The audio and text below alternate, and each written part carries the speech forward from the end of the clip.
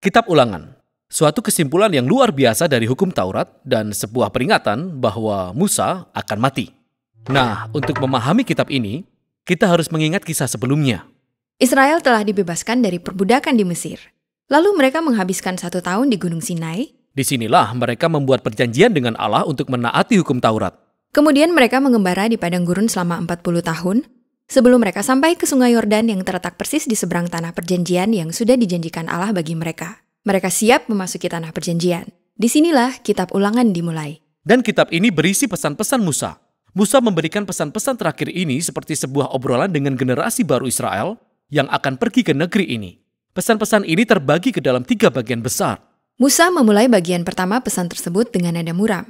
Karena dia menyoroti pemberontakan dan perlawanan Israel yang telah berlangsung selama 40 tahun terakhir. Dan ini mendasari bagian pembukaan yaitu tantangan Musa kepada generasi baru ini untuk menjadi berbeda dengan orang tua mereka dalam hal menanggapi anugerah Tuhan dengan kasih dan ketaatan. Musa mengingatkan mereka tentang sepuluh perintah Allah yang merupakan dasar dari perjanjian dengan Allah. Lalu Musa menyampaikan bagian yang sangat terkenal ini. Dengarlah hai orang Israel, Tuhan itu Allah kita, Tuhan itu Esa. Kasihilah Tuhan Alamu dengan segenap hatimu, dan dengan segenap jiwamu, dan dengan segenap kekuatanmu. Nah, dalam tradisi Yahudi, hal ini disebut Shema. Karena kata Ibrani pertama dalam kalimat ini adalah Shema Israel. Ini menjadi doa yang sangat penting bagi orang Yahudi. Doa ini diucapkan dua kali sehari. Doa ini menekankan kepada komitmen khusus umat Israel kepada Allah. Satu-satunya Allah yang sejati yang mengasihi mereka dan melepaskan mereka dari perbudakan. Benar. Karena mereka akan memasuki suatu wilayah yang penduduknya menyembah banyak dewa-dewa. Musa berpikir kesetiaan kepada Allah adalah satu-satunya cara menuju kehidupan. Nah, perhatikan kata-kata kunci ini dalam Shema. Dengarlah dan kasihilah. Kita akan menemukan kata-kata ini di sepanjang bagian pembuka dari pesan-pesan terakhir ini. Kata dengarlah dalam bahasa Ibrani lebih dari sekedar membiarkan gelombang suara masuk ke dalam telinga kita. Ini mencakup gagasan untuk menanggapi apa yang kita dengar. Bagi Israel, ini berarti menanggapi anugerah Allah dengan mematuhi hukum perjanjian.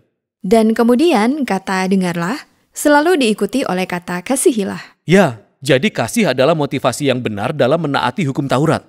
Israel tidak mungkin bisa taat tanpa mengasihi, dan mereka tidak benar-benar mengasihi jika mereka tidak taat. Jadi ada hubungan yang sangat erat antara mengasihi dan mendengarkan yang ditulis berulang kali dalam kitab ini.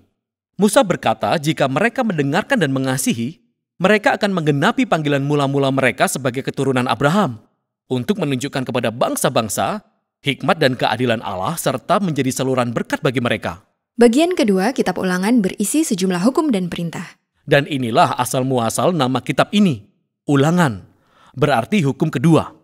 Karena kebanyakan dari ketetapan dan peraturan ini sudah pernah kita dengar sebelumnya. Bahkan pada kalimat awal kitab ini, kita diberitahu bahwa di sini Musa menjelaskan dan mengklarifikasi ketetapan dan peraturan itu. Jadi Musa mengulangi dan menjabarkan ketetapan dan peraturan yang ada dan membuat itu relevan bagi generasi baru ini. Ada peraturan tentang bagaimana mereka harus menyembah Tuhan, peraturan tentang struktur kepemimpinan, peraturan tentang keadilan sosial, dan beberapa peraturan lainnya tentang ibadah. Nah, setelah menyampaikan semua ketetapan dan peraturan itu, Musa memperingatkan Israel mengenai konsekuensi atas ketaatan dan ketidaktaatan atau dalam istilah Musa, berkat dan kutuk. Jika mereka mendengarkan dan mengasihi, mereka akan merasakan berkat dan kelimpahan di tanah perjanjian. Jika mereka tidak taat, mereka akan ditimpa kelaparan dan kutuk, dan mereka akan dipaksa keluar dari tanah perjanjian menuju pengasingan. Dan kisah ini membawa kita pada bagian terakhir dari pesan-pesan Musa. Ya, di sini Musa berkata, Aku memperhadapkan kepadamu pada hari ini kehidupan dan kematian, berkat dan kutuk. Jadi pilihlah kehidupan. Tetapi kemudian kisahnya menjadi sangat menarik. Karena setelah 40 tahun bersama dengan umat Israel, Musa tahu bahwa mereka tidak akan taat. Sehingga dia memprediksi kegagalan bangsa Israel dan bahkan pembuangan mereka dari tanah perjanjian. Musa fokus kepada apa yang menurutnya merupakan sumber permasalahan, yaitu bahwa mereka tegar tengkuk. Seolah-olah bangsa Israel tidak mampu untuk mengasihi Allah dengan cara yang membawa kepada ketaatan. Tetapi sebenarnya ini bukan hal baru bagi Israel. Ya, bahkan Musa ketika mengucapkan kata berkat dan kutuk, dia mengaitkan kisah Israel dengan kisah manusia di masa lalu dari kejadian pasal 1 sampai 3. Jadi Adam dan Hawa, mereka diberkati oleh Allah sama seperti bangsa Israel. dan diberi pilihan untuk percaya dan taat kepada Allah, sama seperti bangsa Israel. Namun mereka memberontak dan mendatangkan kutukan. Dan Musa tahu bahwa bangsa Israel akan melakukan hal yang serupa. Kisah-kisah ini adalah tentang bangsa Israel yang tegar tengkuk. Tetapi sebenarnya, semua kisah itu adalah jendela ke dalam kondisi universal manusia. Tetapi Musa tidak kehilangan harapan sepenuhnya. Itu benar. Musa berkata bahwa di balik pengasingan bangsa Israel, Allah berjanji untuk mengubah hati mereka. Sehingga suatu saat nanti, mereka sungguh-sungguh bisa mendengarkan dan mengasihi. Di bagian terakhir, Yosua ditetapkan sebagai pemimpin baru bangsa Israel. Lalu Musa menuliskan hukum Taurat. Yang dia tahu akan dilanggar oleh bangsa Israel. Benar sekali. Lalu Musa memasukkannya ke dalam tabut perjanjian. Lalu Musa naik ke atas gunung sehingga dia bisa melihat tanah perjanjian dari kejauhan.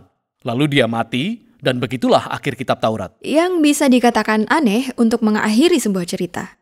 Maksud saya, itulah klimaksnya. Akankah bangsa Israel menaati semua ketetapan dan peraturan dan hidup setia di tanah perjanjian, atau tidak? Ya, kisahnya berlanjut kepada Yosua, kitab selanjutnya dalam Alkitab. Tetapi inilah akhir kitab Taurat, kisahnya berakhir di sini untuk sebuah alasan.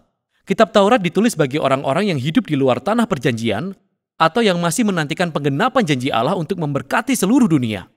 Nah, ketika setiap generasi membaca kitab Taurat, mereka terpanggil untuk memiliki harapan yang sama seperti Musa, yaitu hati baru yang sudah diubahkan, yang suatu saat bisa benar-benar mendengar dan mengasihi.